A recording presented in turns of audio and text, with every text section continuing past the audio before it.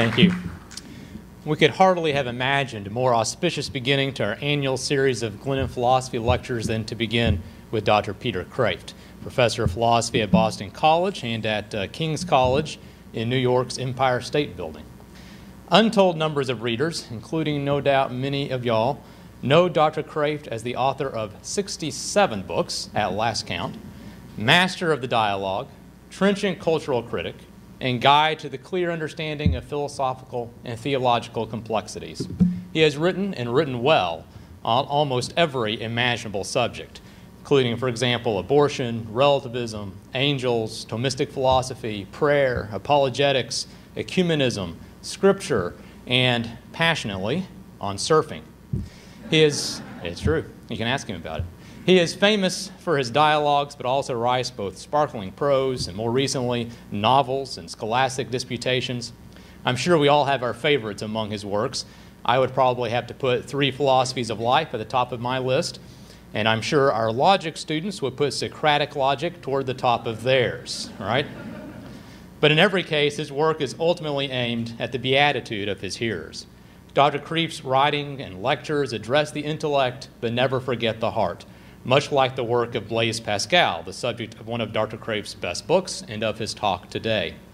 But even beyond all these marks of success, we are glad to begin with Dr. Kreeft because he is a, a living example of a truth close to the heart of Glennon College. Clear thinking and sound philosophy can help us both to understand the gospel we proclaim and to bring others to a personal encounter with our living Lord through that proclamation. Please join me in welcoming to the first annual John Cardinal Glennon Lecture, Dr. Peter Kreeft.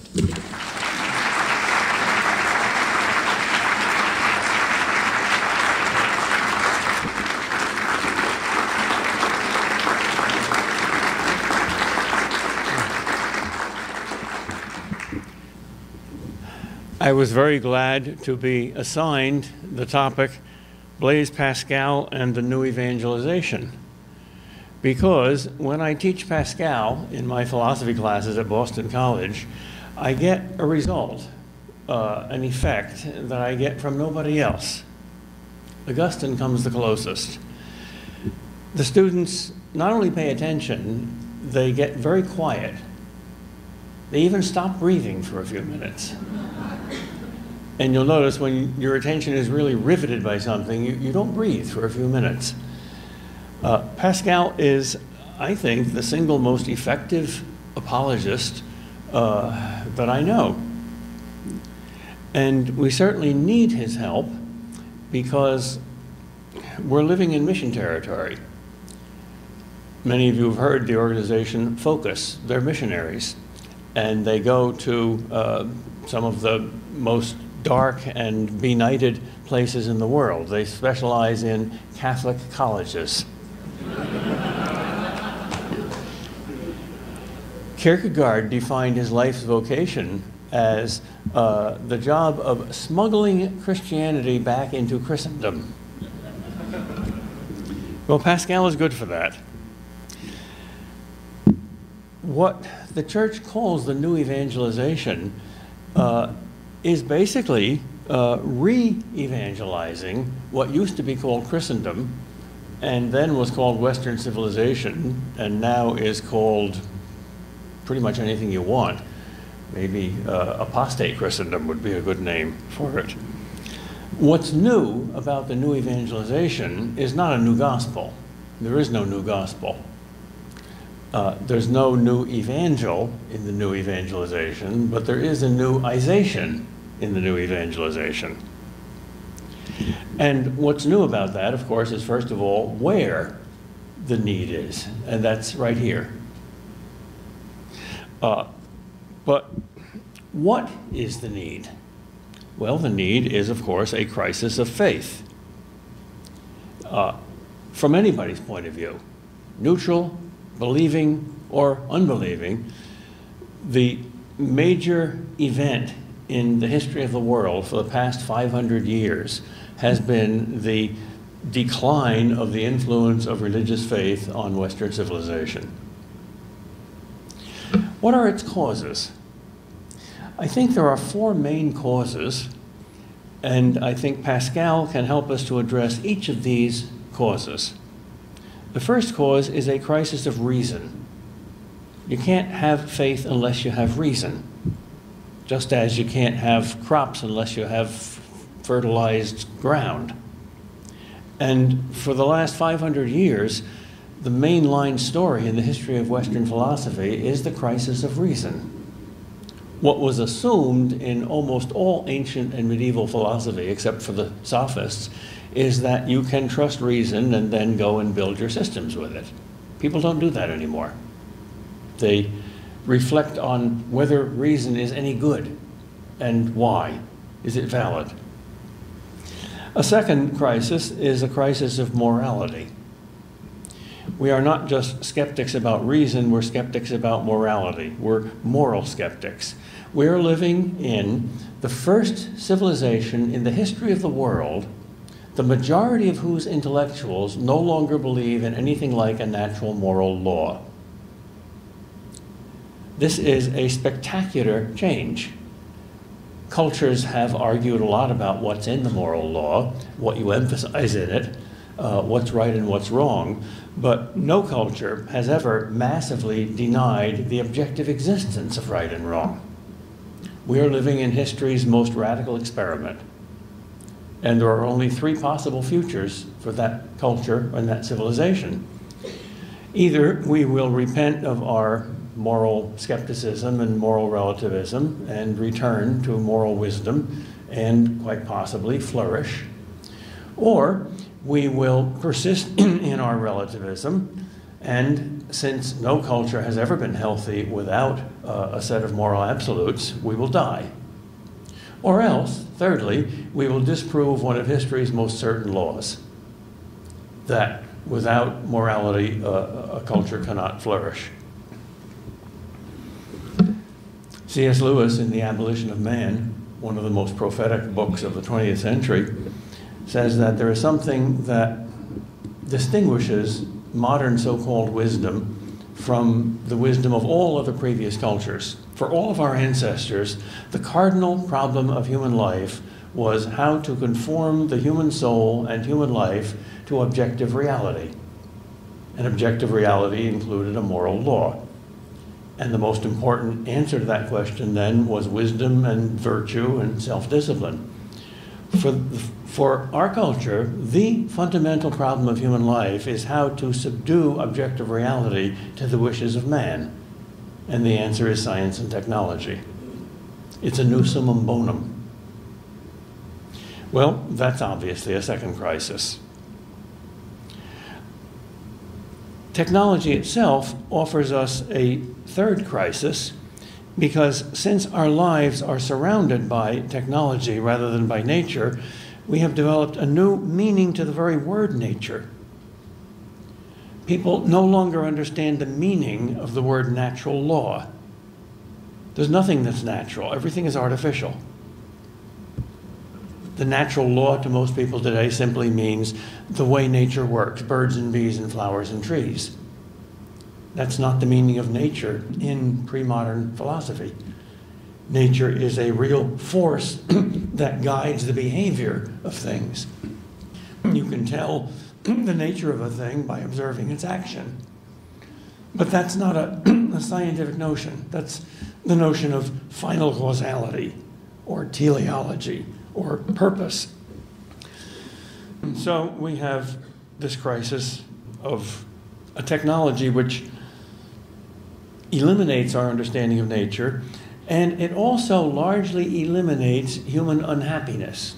Technology has been wonderfully successful in making us happy and relieving most of the pain in our lives. I read one estimate that said that the average person today can expect to experience in an entire lifetime approximately the same amount of physical pain as someone in the high Middle Ages experienced every month. Well, that means that we're not as miserable as our ancestors, and that's certainly progress. However, Pascal's whole apologetics, his whole strategy in the Pensées, is to start with human misery as the problem, or at least as the symptom of the problem. If you have no symptoms, you may not realize you're sick. Physical symptoms are usually the effects of some more deep underlying and invisible cause. And we're still just as sick, we just don't have the symptoms anymore. Uh, he was going to outline the pensées before God in his mercy struck him dead before he turned 40 so that he couldn't spoil these wonderful notes and make them into some artificial dull book. he, he has hints as to what the book was going to be like, and the outline was two main points man's wretchedness without God, man's happiness with God. In other words, the bad news and the good news. That's basically the gospel. Well, the main reason the gospel is not heard today is not because people don't believe in good news. They believe in all sorts of good news. They're very naive. Uh, they don't believe in the bad news. Sin and salvation, two key terms of the gospel. Sin is the bad news, salvation is the good news. But if you don't believe in sin, salvation is meaningless. What does Jesus save you from? Politically incorrect opinions? Bad social work? Uh, if I offered you the good news of a free quarter of a million dollar worth quadruple bypass heart transplant, uh, would you say, Great, take me to the hospital? Of course not, because you don't think you need it. In ancient times, the gospel was resisted as being much too good to be true. Everybody knew that the first truth, the bad news, was true. Of course, we were wretched. But was there a way out? It was the good news that was controversial. Today, it's exactly the opposite. We have to preach the bad news first before we can get a hearing for the good news. But people don't want to hear the bad news. What is, what is our fundamental liturgical formula when we greet each other? How are you? And what's the answer? Fine. No matter what, you're fine. You, you can't admit that you're not fine. I mean, your dog may just have died, your mother in law came to live with you for the rest of your life, and the IRS is auditing you. But you're fine. That's our faith. We are full of what Pascal calls diversions. We have a lot of elephants in our living room sin, death, misery, and we can't get rid of them, but we can cover them up with a million mice. And those are the many diversions in our life. And technology gives us those diversions.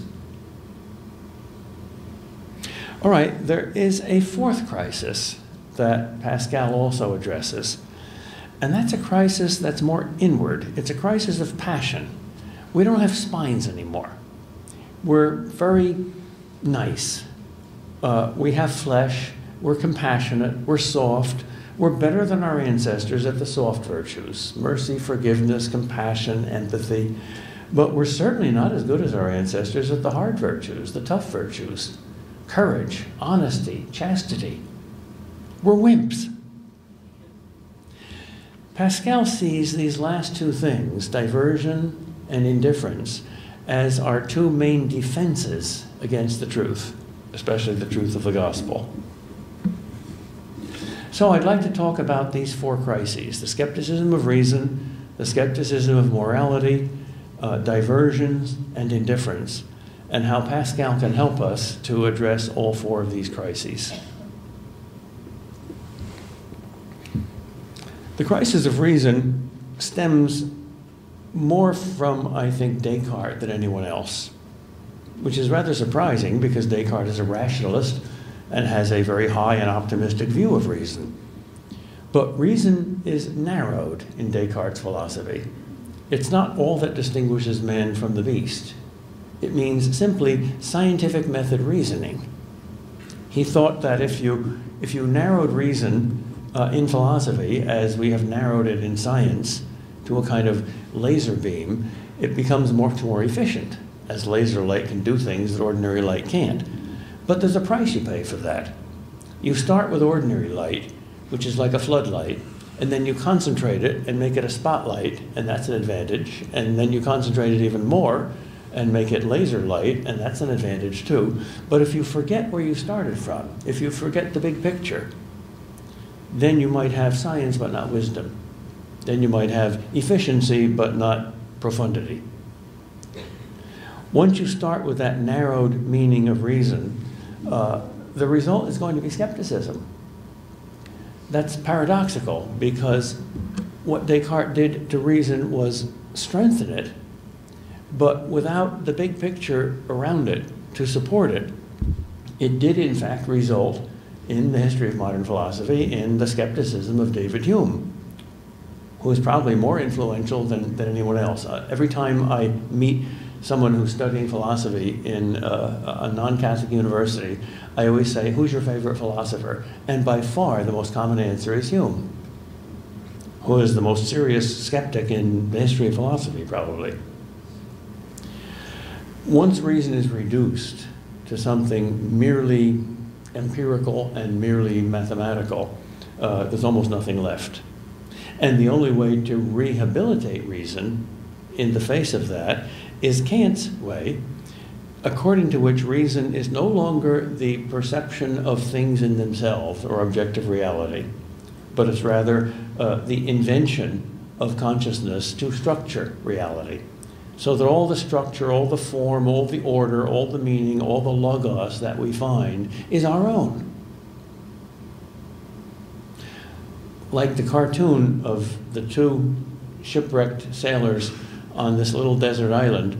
Uh, there's only one palm tree, and their clothes are ragged, uh, and a message in a bottle washes up, and hope appears on their face, and one reads the message, and the hope disappears from their face as he reads the message. It's only from us. All the meaning, all the order, all the truth that we seem to discover is really only what we've invented. Well, that's an even deeper crisis of reason. And then when you get to Hegel, reason itself becomes historically relative. Truth itself evolves through history, and so does God. And then you subtract the spiritual and the divine from that, and you get Marxism. Reason is a, a, a historical economic development. It's, it, it's essentially ideological. And then you add Freud, and reason becomes nothing but rationalizing. We are id, we are desire. And the superego and its standards are, are basically an illusion, a facade. So all reason is rationalizing, of course, except that little bit of reasoning. And then in Darwin, reason becomes simply uh, nature's trick for pragmatic survival. There's nothing sanctioned about it, there's nothing authoritative about it, it's just what works. Pascal, before all these developments, except for Descartes, he was a contemporary of Descartes, uh, foresaw them and realized that reason was not going to be able to do what Descartes thought it could do. Descartes began with universal doubt. That is a very good beginning for a scientist. The scientific method begins with universal doubt. I think probably the, the main reason the Middle Ages weren't very good at science was not because they weren't interested, they were fascinated. It's because they didn't have a tough minded enough scientific method. They began not with doubt, but with faith. Aristotle, the greatest of all scientists, says this it's probably true. Let's assume that it's true and then go on from there. Well, people should indeed be treated as innocent until proven guilty. But when you're doing science, ideas have to be treated as guilty until proven innocent. So Descartes says, since this new scientific method works so well in all the other sciences, let's apply it to philosophy. So let's begin by doubting absolutely everything. Let us doubt even reason itself. Reason has often misled us. Sometimes you make simple mistakes in arithmetic in, in counting, counting up your checkbook balance. And reason has often misled us uh, when we use it to understand sense data. Uh, there are optical illusions that we can be deceived by. The sun and the moon look the same size, but they're not. Uh, reason often deceives us in our dreams. We think we're awake and we're not. And there's nothing that can't be put into a dream that can be put into reality. So, how do you know you're not dreaming now? Finally, he goes so far as to say, How do you know you're not being hypnotized by the devil? How do you know there's not a, a, an evil spirit, much more intelligent and powerful than you are, you are, who is putting all these ideas and experiences into your mind right now? Well, that's about the seri- most serious doubt any philosopher ever had. And Descartes thought he had an answer to it. Pascal disagrees. he writes in Pensée number 131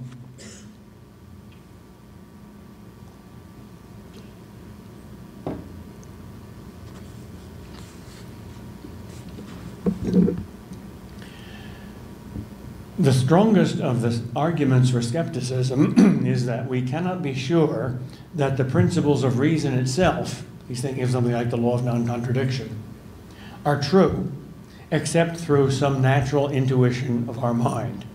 now, this natural intuition affords no proof that they're true, for there is no certainty apart from faith as to whether man was created by a good God or by an evil demon or just by chance. So it is a matter of doubt, depending on the origin of our minds, whether our mind's innate principles are true, false, or uncertain. Your brain is like a computer in many ways. Would you trust a computer that was programmed by a lying, deceiving mind? Of course not. How about by blind chance, by somebody throwing a bag of marbles at the keyboard? No only if the computer is programmed by a wise and trustable mind do you trust the computer. Well, why do you trust your brain then? Was it programmed simply by random chance evolution? Or perhaps by an evil spirit that you can't trust? Only if God designed your mind can you trust it. But how do you know there's a God? By your mind. Oops. Recalculating. That's arguing in a circle. You use reason to prove God, and you use God to prove reason. Descartes apparently didn't see that circle.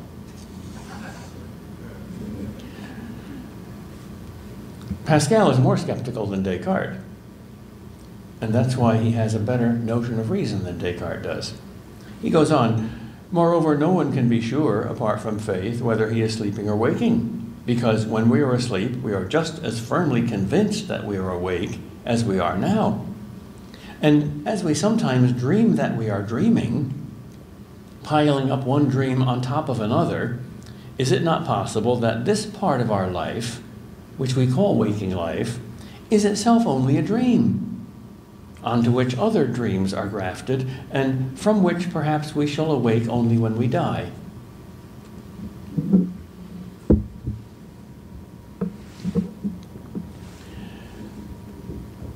What then shall we do if reason is in crisis to bring people to the faith? How can you evangelize in the face of such skepticism? Pascal's answer is very simple.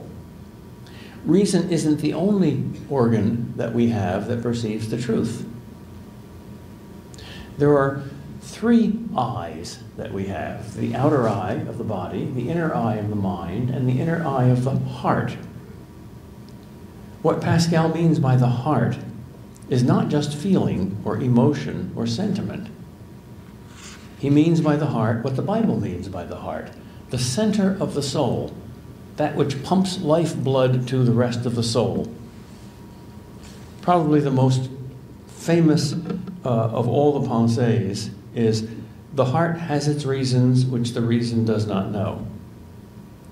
People often quote that and mean exactly the opposite of what it says, namely, that the heart feels and feeling is better than thinking.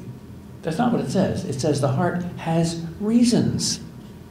It's a kind of deeper reasoning. You can know more certainly with the heart than you can with the head.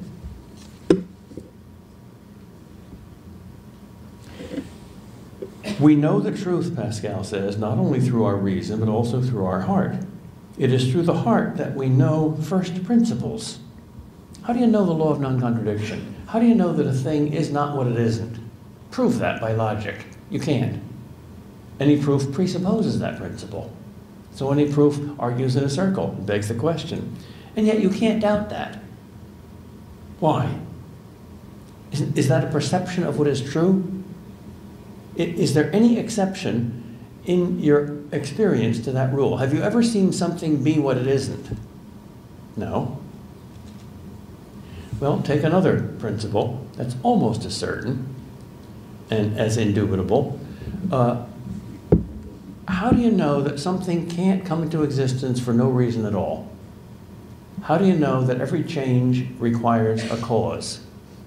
How do you know that you won't see a large blue rabbit suddenly appear on my head and jump up and down without coming from the ceiling or the floor or my sleeve or anywhere else? If you saw that, would you say, oh, well, rabbits happen?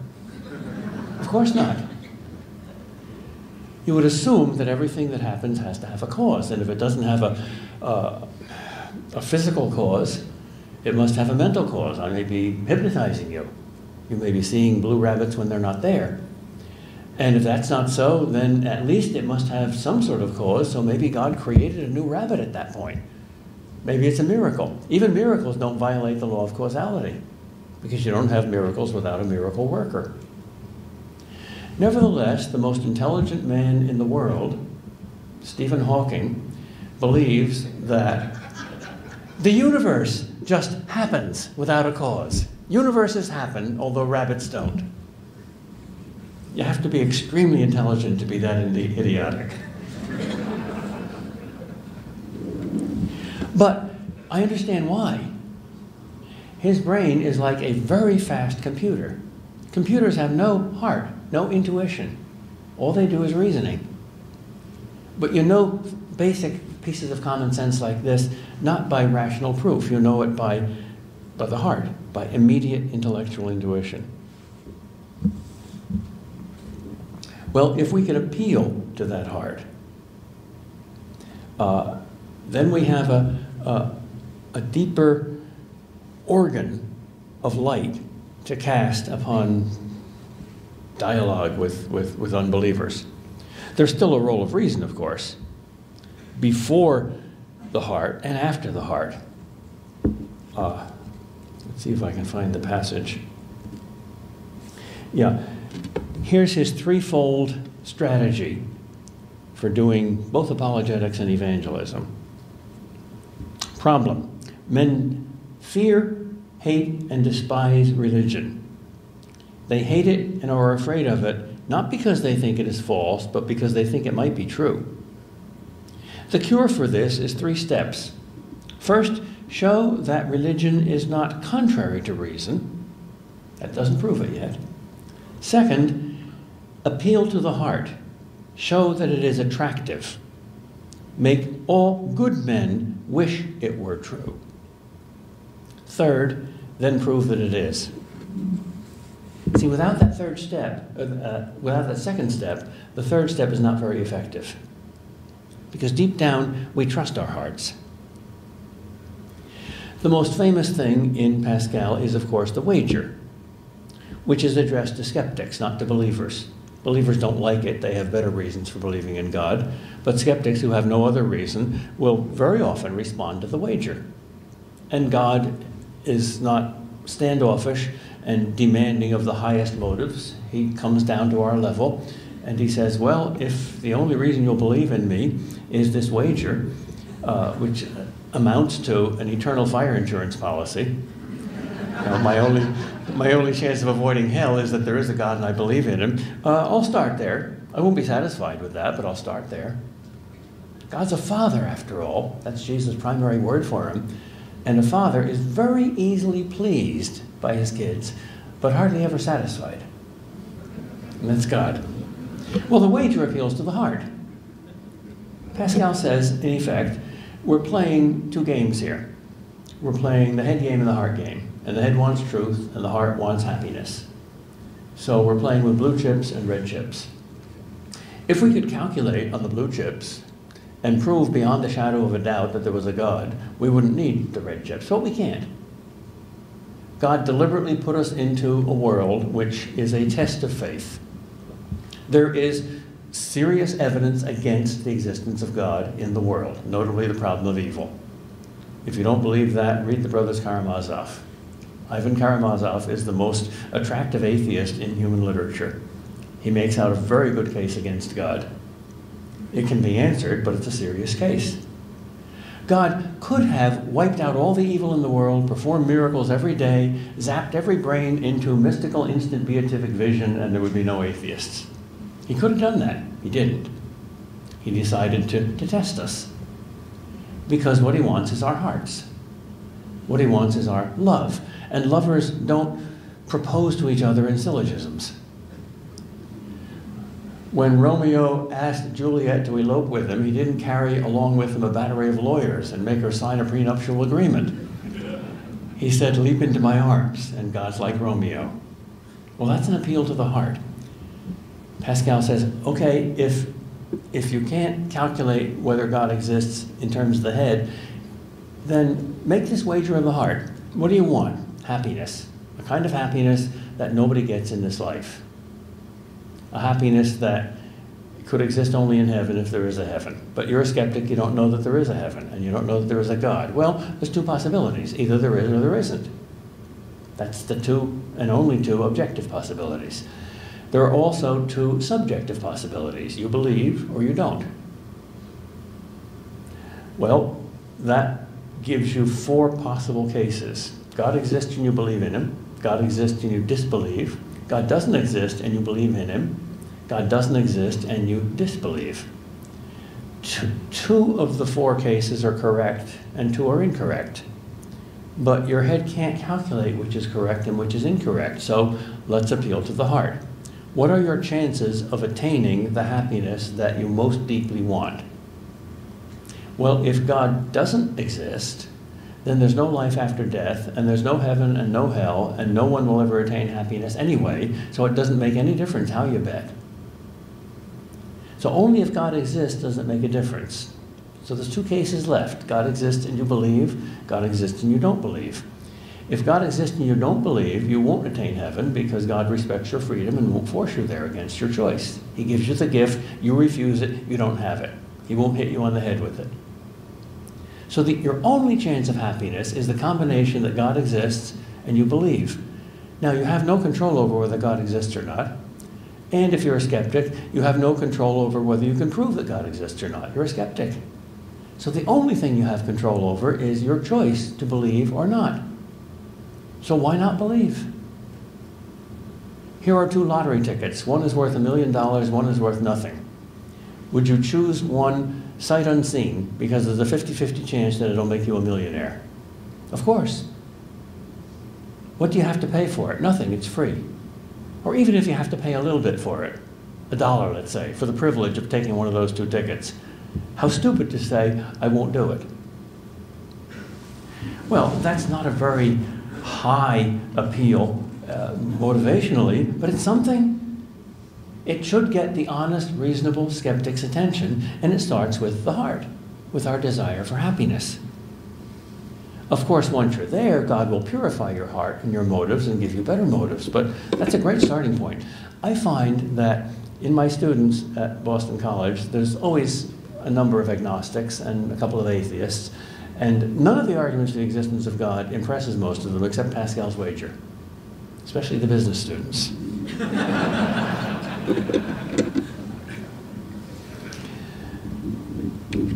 Moral skepticism is our second problem. Uh, the lack of a natural law, the lack of belief in sin. Uh, Pascal already was living in the modern world in which moral relativism and moral skepticism was fairly common. Uh, he writes, There no doubt exists a natural law, but once human reason of ours was corrupted, it corrupted everything, including our knowledge of the natural law. Aquinas asks in the Summa, Can the natural law ever be eradicated from the heart of man? And he gives a very nuanced answer. He says its fundamental principles cannot But some of its precepts can. If you're sufficiently influenced by either your own disordered passions or by the corrupt opinions of a society. And he gives as an example the gypsies who don't believe thou shalt not steal because they live in a society where that simply is not taught. So, to a certain extent, the natural law can be eradicated from the heart of man. And the thing that C.S. Lewis warns against in that classic, The Abolition of Man, can come true. You can abolish your humanity. You can perform a conscience-ectomy.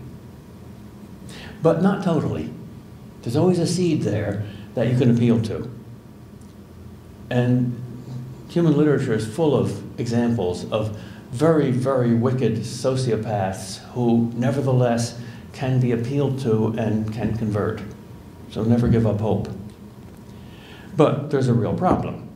The knowledge of this natural law is severely impeded. For instance, war impedes the knowledge of natural justice. Uh, Pascal gives an example of a dialogue between two soldiers at war, and one has a weapon and the other doesn't. And the one who doesn't have a weapon says to the other soldier, Why are you killing me? I am unarmed. And the soldier with the weapon says, Do you not live on the other side of the river? My friend, if you lived on this side of the river, I would be a murderer. But since you live on the other side of the river, I am a brave man, and it is right. Hmm. He also says, we, we would like to make might obey right, but that's much harder than making right obey might. So instead of fortifying justice, we justify force. We paint the face of justice on the weapons of power. And if you look at human history, that's largely true. So even though the natural law is there, uh, it's hard to appeal to anymore. Partly because we have a new relationship to nature. And Pascal is quite profound about that. Uh, nature used to be a guide. Nature used to be wise. We used to think we belong in nature. Now, due to a number of forces, one of them is technology, another is the skepticism of reason, uh, we feel lost in the cosmos, alienated from nature. Here's a very short but telling pensée. The eternal silence of those infinite spaces fills me with dread. You look out into the vast universe, which the Middle Ages also knew was vast, by the way. It's simply not true that the Middle Ages believed the universe was small and cozy, and modern astronomy has opened it up. The astronomy textbook that everybody used in the Middle Ages, Ptolemy's Almagest, uh, said that the size of the planet Earth, large as it is, is only a pinpoint, a pinprick, and unmeasurably small compared with the size of the universe. They knew that in the Middle Ages. But their reaction to it was not Pascal's reaction. Look at the two key words in this sentence silence and spaces. The ancients didn't hear silence from the universe, they heard the music of the spheres. They heard music, beauty, justice, harmony, order. We hear nothing, we hear silence. And the word space, we talk of outer space. The ancients didn't use the word space for the universe, never. It was called the heavens. It was a positive word, not a, not a negative word. In fact, some of the Greek myths say that night is a black blanket that the gods put over us, who are like their children, uh, when we sleep. But there are holes in the blanket, and they're called the stars. And through those holes, you can see the campfires of the gods, or the lights of heaven.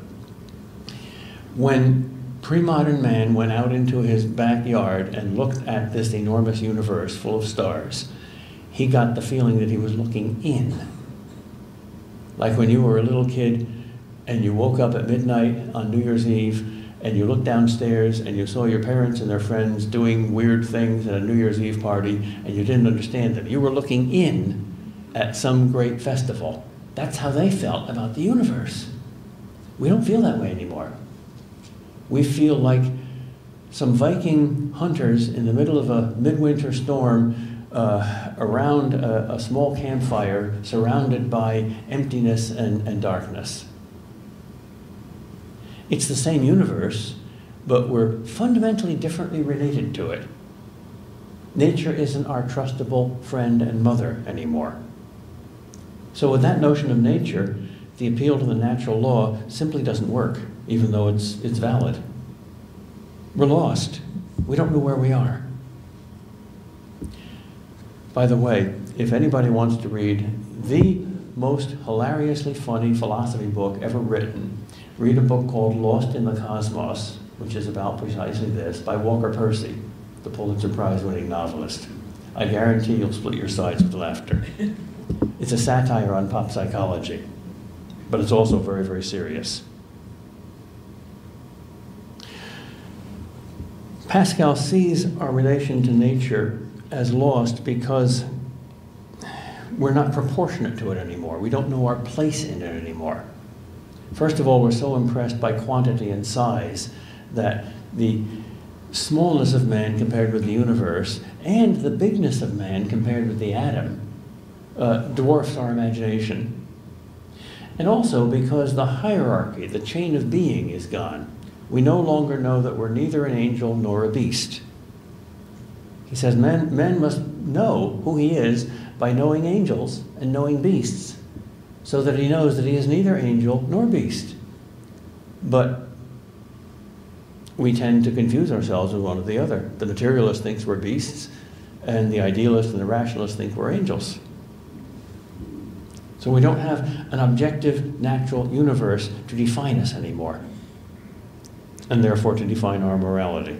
What do you do then? If reason no longer gives you this meaningful universe, once again, you appeal to the heart. It's an existential appeal. Pascal is the first existentialist. Well, maybe Augustine is in the Confessions. But the appeal to the concrete, subjective individual instead of abstract universal principles. It's a perfectly legitimate turn. And it's something that happens to every teenager.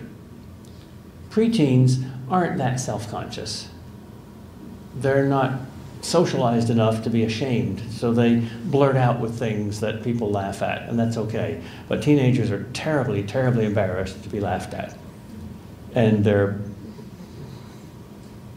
uncertain about who they are.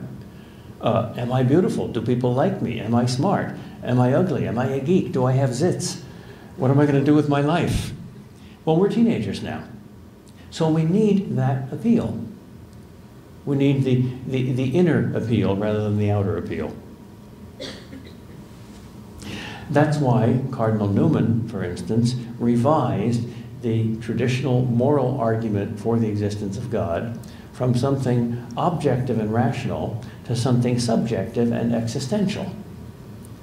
Probably the most powerful of all arguments for believing in God is the moral argument. If there is a moral law, there must be a lawgiver. If you know that you are absolutely obligated to be good, why? Well, if there's a, a, a law that you didn't make and therefore is non negotiable, and you're simply wrong if you disobey it and right if you do, then what's behind that law? It can't be just blind, dumb molecules. It's got to be a will.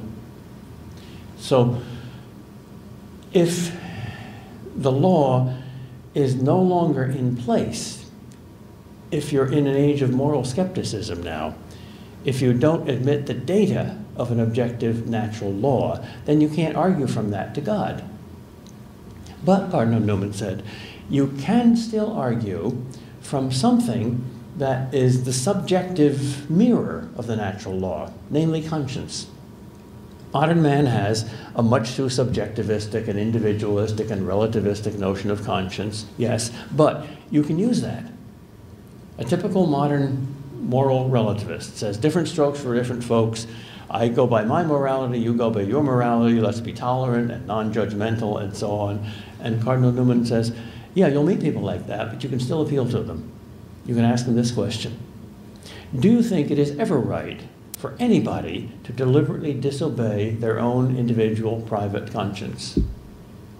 And everybody else say, well, no, no. My conscience tells me to do one thing, your conscience tells you to do another thing. There's no common system there, but I got to be true to my conscience and you've got to be true to your conscience. Absolutely, all the time, for everybody? Yes. Oh, so you've got one absolute left? Yes. Well, why is your conscience so authoritative? Where did it get that authority from?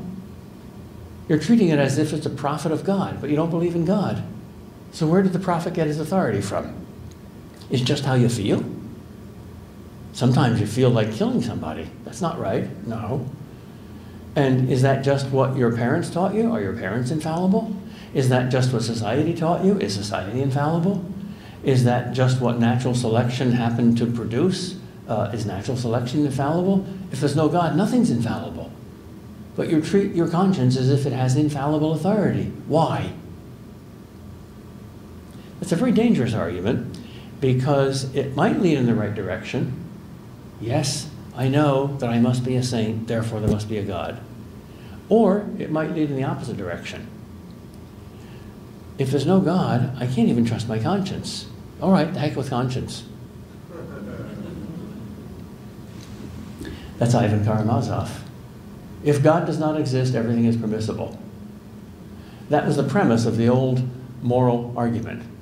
It was thought that everybody would know that not everything is permissible, and therefore it logically follows that there is a God. But you could also draw the opposite conclusion. There is no God, therefore everything is permissible. Why not? I was once teaching an ethics class and we were talking about abortion, and there were two very intelligent, uh, hard nosed, uh, pro choice feminists who I was arguing with, and I asked them to give me a single argument that would justify abortion that wouldn't also justify infanticide. And they tried to give me such arguments, and I knocked them all down, I thought pretty well. And after class, they came to me and said, Professor, congratulations, we didn't think you could do it, you changed our mind. Oh, good, you're pro life now? No, we're pro infanticide.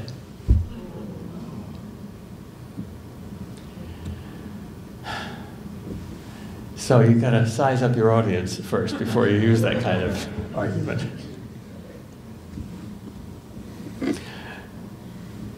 The third new situation that the new evangelism has to address is that we are no longer wretched because we live in a toy factory full of diversions. We're spoiled little kids. We're artificially happy. We can't use the old technique look how wretched you are without God. You can only be happy with God. We don't feel that wretched. In fact, during the 70s and 80s, they changed the world's most popular hymn, Amazing Grace, to take out the word wretchedness. Amazing Grace, how sweet the sound that, that saved a wretch like me. They restored it in most versions, but I know there's some Catholic hymn books that still have that saved and set me free. You can't call yourself a wretch. But it's very liberating to call yourself a wretch. Because a wretch means what's wrong with you is your own fault, and therefore you can do something about it. If it's not your fault, you can't do anything about it. That's hopeless. Sin is a really optimistic idea. To call a man a sinner, that's a great compliment. Well, the old strategy uh, is not as useful anymore. So, why, says Pascal? Well, because of all these diversions. When students read what he says about diversion, that's when their breath stops.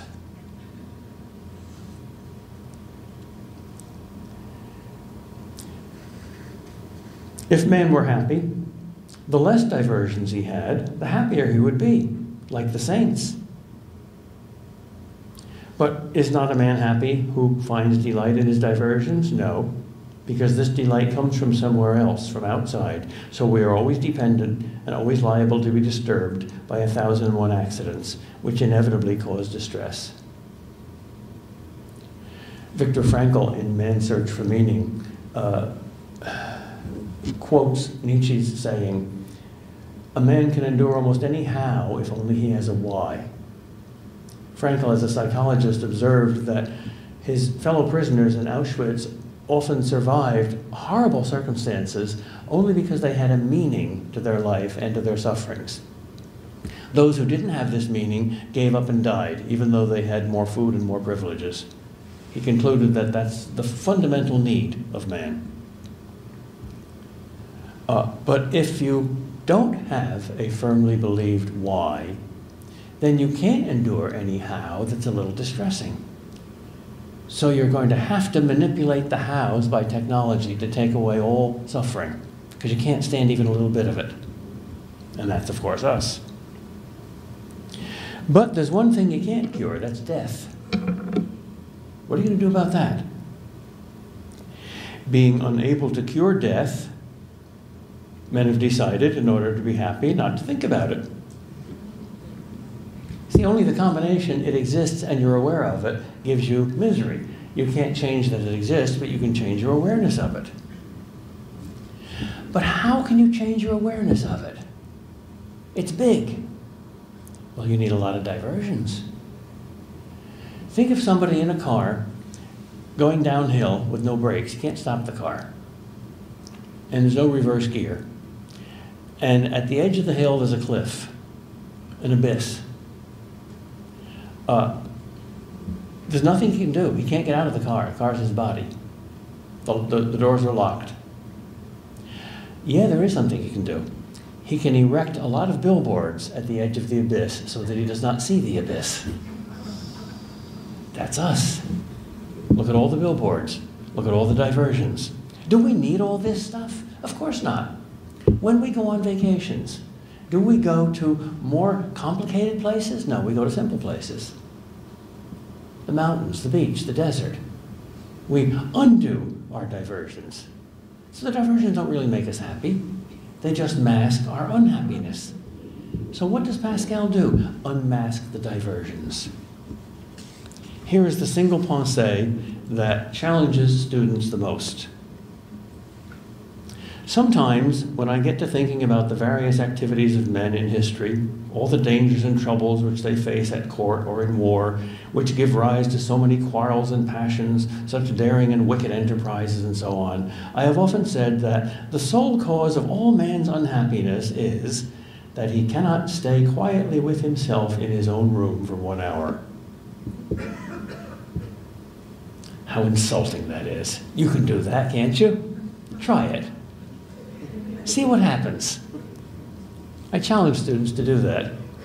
And always they say one thing it was much harder than I thought.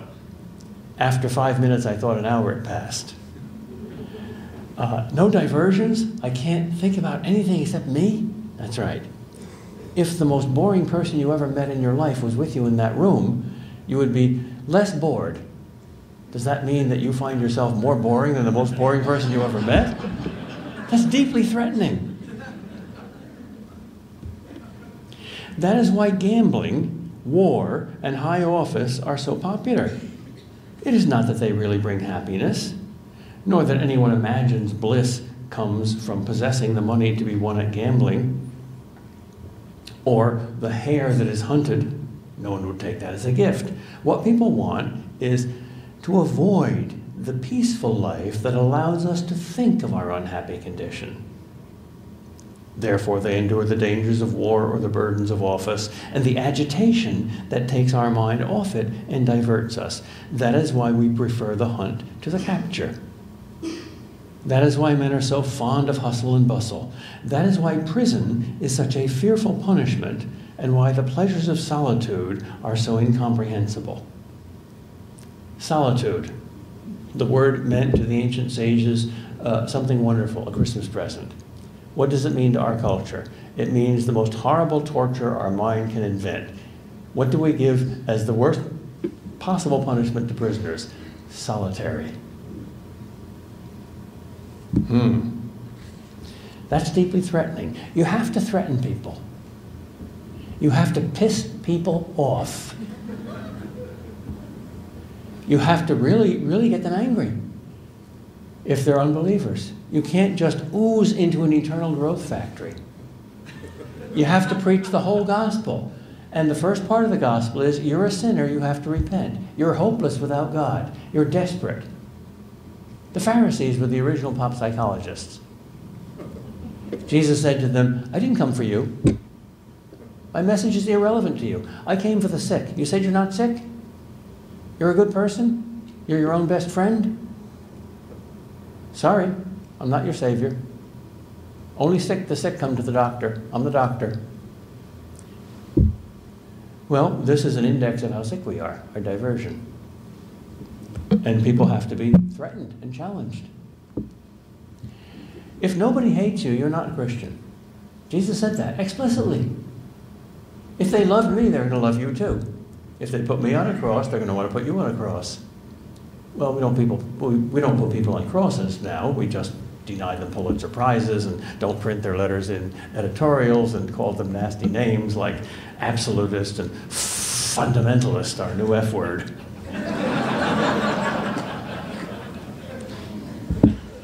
Anybody ever call you that? Good. That's what they call Jesus. Fanatic.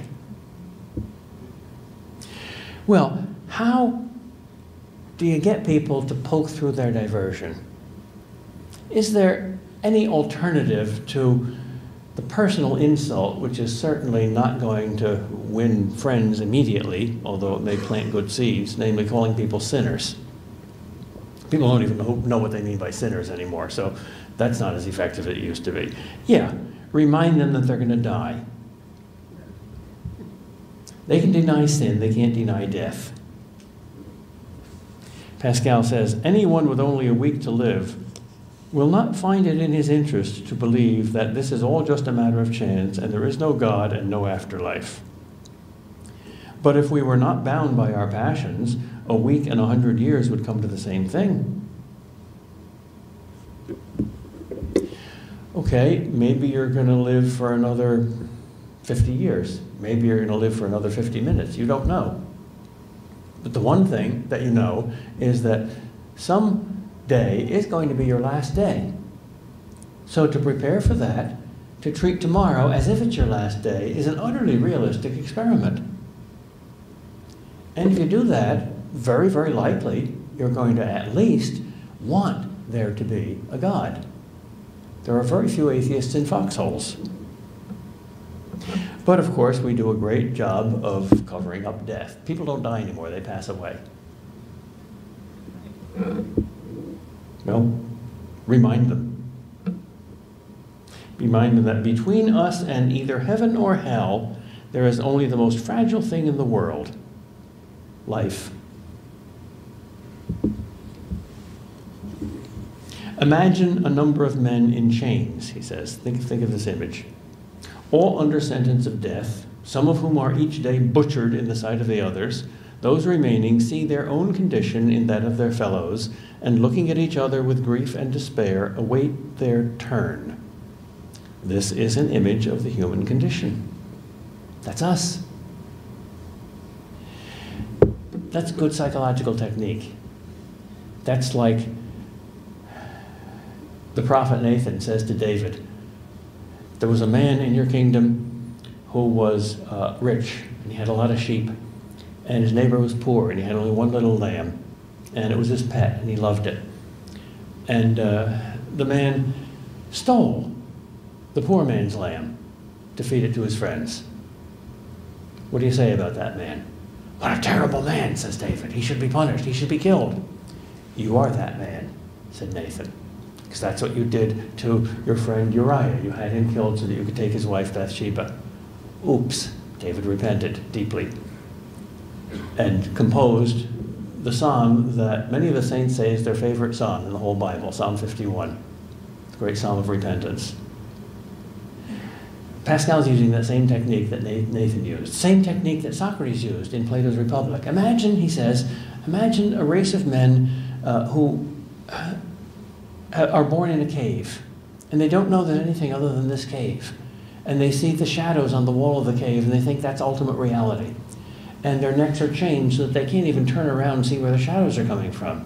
And they do nothing but deal with these shadows all their life, thinking that's all there is. What poor suckers, says Socrates' student. Ah, that's us, says Socrates.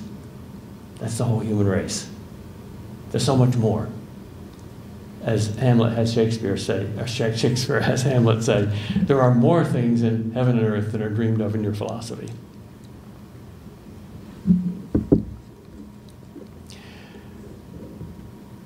One of the reasons we don't like to think about death is that nobody can help us to die.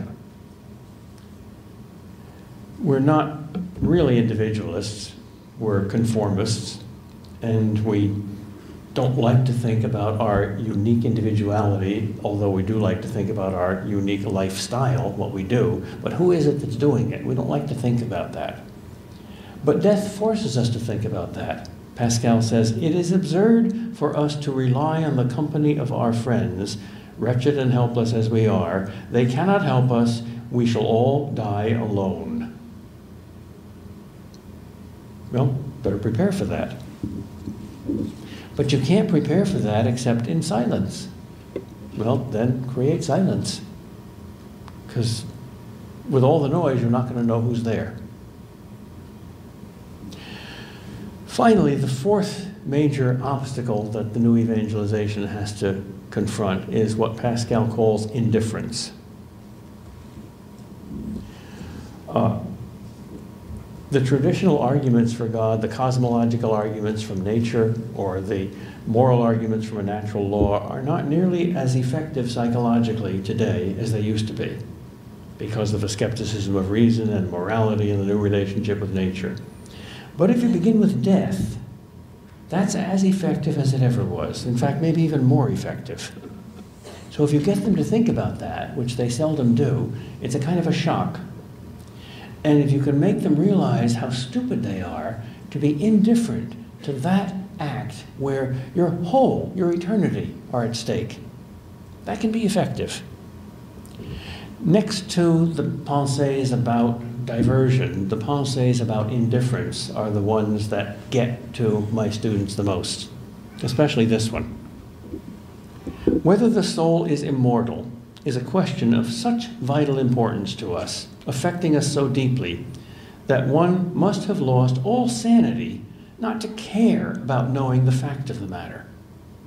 All our actions and thoughts in this world must follow such different paths according to which according to whether there is at the end any hope of eternal blessing or not, that the only possible way of acting with sense and judgment is to decide our course in light of this point Thus, our chief interest and duty must be to seek enlightenment on this subject, on which all our conduct depends. And therefore, among those who are not convinced, the agnostics, the skeptics, I make an absolute distinction between those who strive with all their might to learn and those who live without troubling themselves or even thinking about it. I can feel nothing but compassion for those who sincerely lament their doubt, who regard it as their ultimate misfortune, and who, sparing no effort to escape from it, make this search their principal and most serious business. Does life have meaning? Does the road lead anywhere? Is there life after death? Is there a God? That's obviously an important question. And if you don't know the answer to it, the sane thing to do is seek.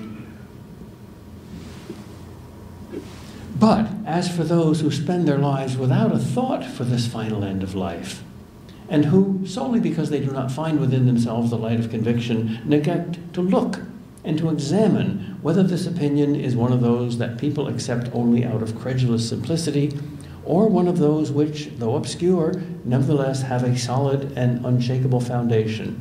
As for them, I view them very differently.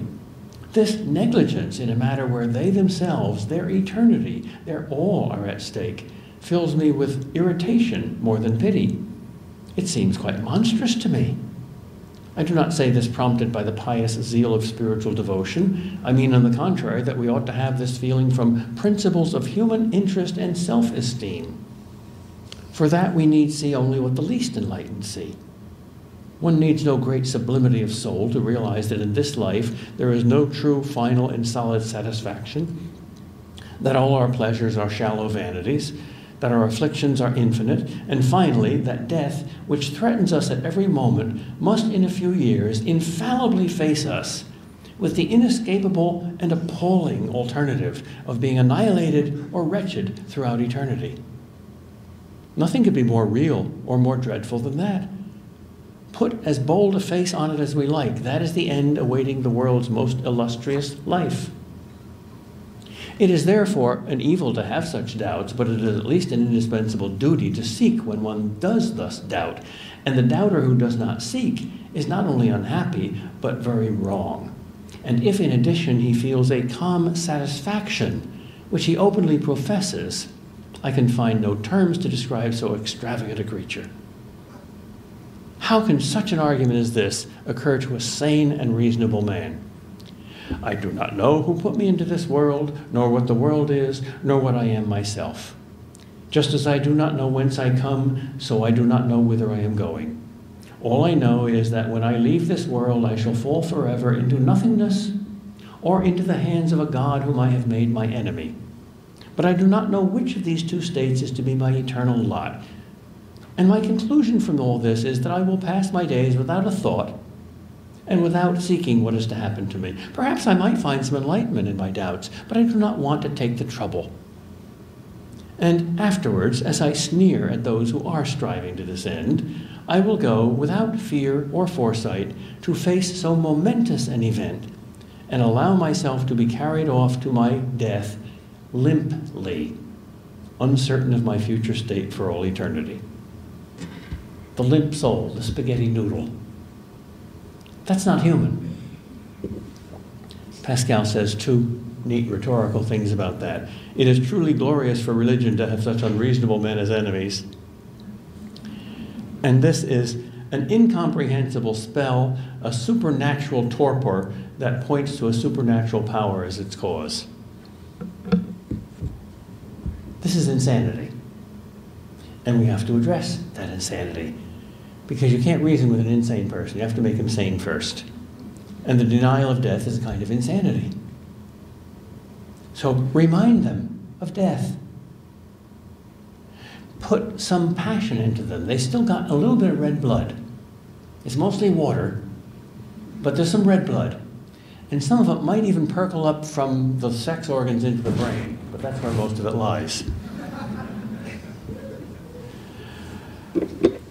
That is going to, sorry, I have to say the word again, piss them off. That's a good word in the Bible, by the way. Any word in the Bible is good. God invented it, it's good. Pascal thus says there's three kinds of men. This is a wonderful division of mankind, and it's a key to the new evangelization because the new evangelization used to be, uh, the old evangelization used to be, to take people from category two back into category one. And the new evangelization is to put them from category three into category two. Here are the three categories. There are only three kinds of people in the world. First, those who have found God and serve Him. Second, those who are seeking God and have not yet found Him. Third, those who live without either seeking or finding him. The first are reasonable and happy. Reasonable because they have sought God, happy because they have found him. The second are reasonable but unhappy. Reasonable because they seek God, unhappy because they have not found him. The third are unhappy and unreasonable. Unreasonable because they don't even seek, unhappy because they haven't found.